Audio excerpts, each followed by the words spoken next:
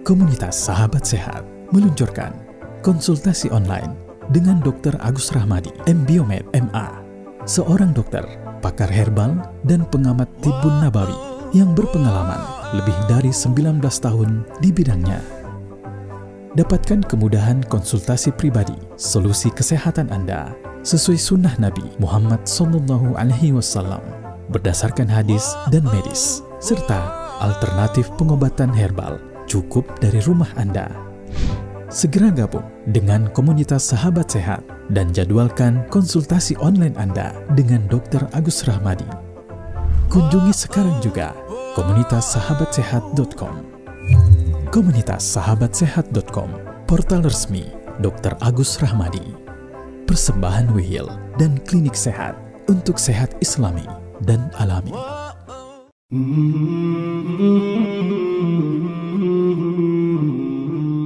Secara teoritis bahwa ketika kita makan, maka eh, darah itu banyak terkonsentrasi di perut.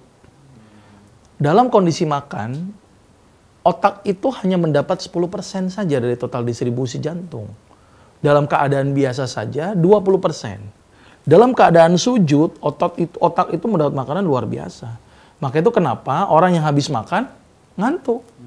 Tapi dilarang Rasul untuk langsung tidur. Suruh apa? Zikir, sholat. Ya kan hancurkanlah makanan dengan zikir dan sholat. Jadi sholat dulu, ibadah dulu, jangan langsung tidur gitu ya. Karena beresiko tadi menyebabkan menghasilkan senyawa yang namanya skatol, indol dan nitrit yang ternyata merusak hati. Jadi sebaiknya adalah tidak tidur setelah makan dan wajar itu ngantuk. Sangat wajar karena memang e, konsentrasi darah banyak terfokus ke pencernaan. Maka itu sebaiknya makan tuh jangan banyak-banyak gitu loh. Semakin banyak semakin ngantuk biasanya.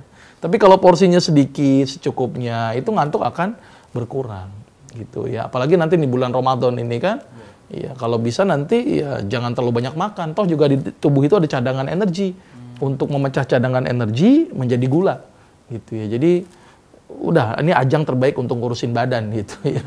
Biarin aja gitu loh, jangan jangan apa banyak makan gitu ya. Karena semakin banyak bayi semakin ngantuk. Kemudian gitu, balas, balas ya. dendam ya. Balas dendam. Ada, ada yang biasanya balas gitu dendam. Ya. Dan saya minta olahraga lah, dirutinkan olahraga supaya tidak gampang jadi, ngantuk. Baik, jadi olahraga nggak nggak perlu berhenti betul, ya di bulan Ramadan betul, ya. tidak perlu berhenti gitu ya.